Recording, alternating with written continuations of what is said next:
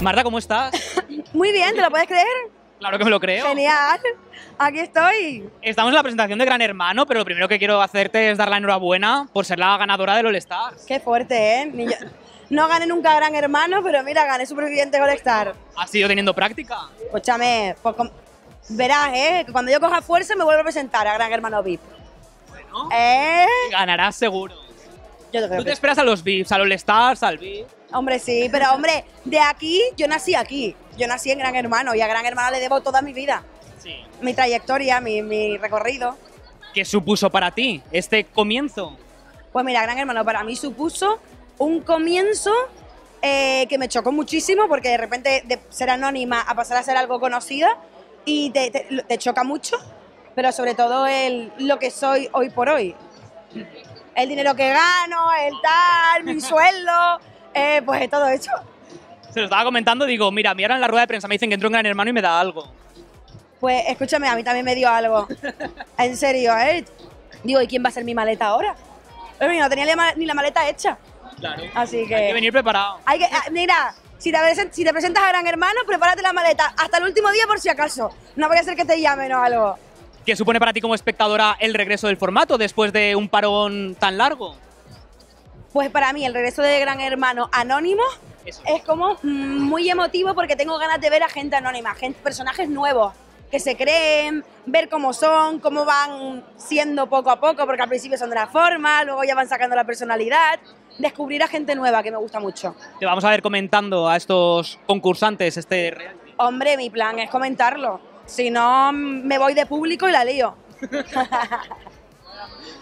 ¿Qué consejo les darías si pudieses estar ahora mismo con los que van a entrar? Aparte de que se hagan la maleta. Os juro que si, pudi- si pudiese decirle algo a los que van a entrar es, es lo típico, pero por favor, sé natural. No impostes un personaje, no creas que por parecerte a otra persona que haya pasado por ahí vas a triunfar. Creo que tienes que ser tú y sobre todo decir todo lo que piensas. Porque la gente te tiene que comprar como eres. Hombre, tú no te callas nada. No, así me ha ido, o sea, pero esto es lo que tenéis que hacer. Después si ganáis o no, no es mi problema. Me has dicho que volverías a un GH VIP. ¿Volverías a presentarte a un GH sabiendo todo lo que ha venido después? Sí. Hombre, ¿Te gusta la caña? No, pero sobre todo porque hoy por hoy mi trabajo y mi todo se lo debo a Gran Hermano. A la Isla de Tentaciones, a lo que me volví a rescatar, pero a, a los formatos, a televisión. ¿Cómo crees que va a funcionar? ¿Apuesta? Pues dependiendo mucho de los concursantes.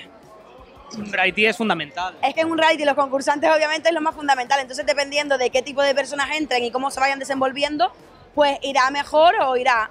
Ir bien va a ir. Eso sí te lo digo yo. Me vuelvo otra vez a Supervivientes. ¿Cómo está esa relación con Adara?